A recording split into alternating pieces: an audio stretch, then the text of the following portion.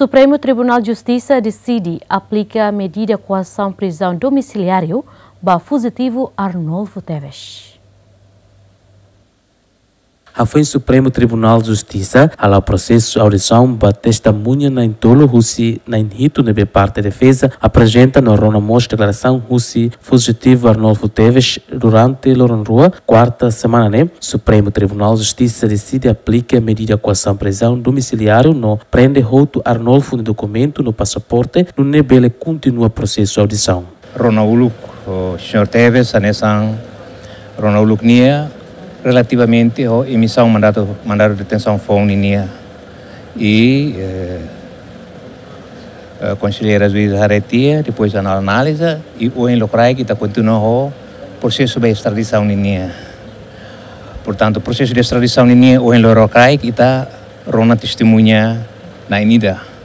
Depois de rona testemunha na Inida passa que ba despacho ba medida de coação com a linha detenção linha e finalmente foi em uh, Locraic agora já foi em uh, uh, conselheira de decide o de halo despacho kataknia e hadete uh, medida de coação e da uh, permanência e a residência. Ou tabela de hana nessa house arrest tahanan rumah ini significa katak senhor Teves o encalam depois de minha filha lá para uma becora mas para a filha ela é em residência.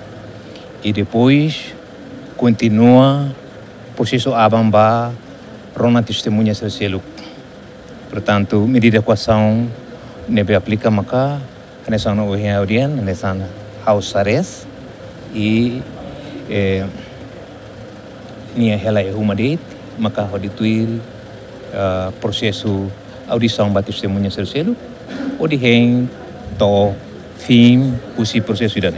Dedau ne Supremo Tribunal de Justiça continua halo hela audição o de Rona Tansassi Nenhat li Husi Jumitin. Processo audição ne preside Husi juíza conselheira Jacinta Correia, Ministério Público representa Husi procurador Jacinto Babo, arguido reta assistência legal Husi advogado privado Nenhat. Damião Gonçalves, Tomás Soares, Gemen.